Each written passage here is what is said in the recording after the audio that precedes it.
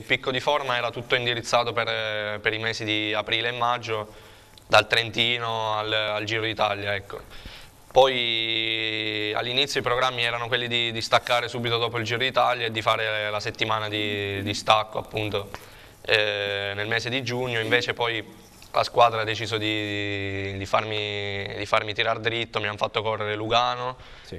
l'Adriatica Ionica e poi il campionato italiano. Quindi ho corso ancora un mesetto e poi appunto adesso sto facendo, sto facendo la settimana di, di riposo. L'anno scorso è stata una stagione un po' difficile, dopo le operazioni è stato un anno un po' particolare dove dove avevo perso diversi mesi, quindi ero arrivato al Giro di Lombardia completamente scarico e, e mi ero ripromesso di fare, di fare un, inverno, un, inverno, fatto bene, una stagione fatta, fatta tutta. Difatti ho staccato poco, ho fatto solo 15-20 giorni di scarico tra una stagione e l'altra e sono partito subito a tutta con un inverno fatto bene. Ecco. E quando fai una base diciamo, importante poi i risultati li vedi subito e, e la differenza c'è stata, stata, sin da subito. Ecco.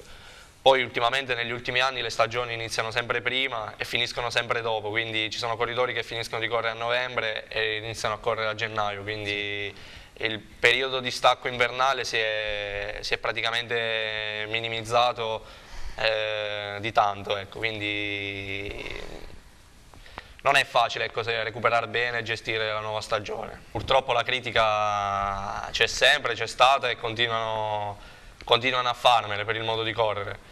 Eh, però sono anche dell'idea che sbagliando magari si impara e degli errori che, che fai adesso magari in un'occasione futura eh, cerchi di non, di non ripeterli. Però l'istinto del corridore quando sei lì ti parte da dentro e penso che nessuno può controllarti o dirti è presto, è tardi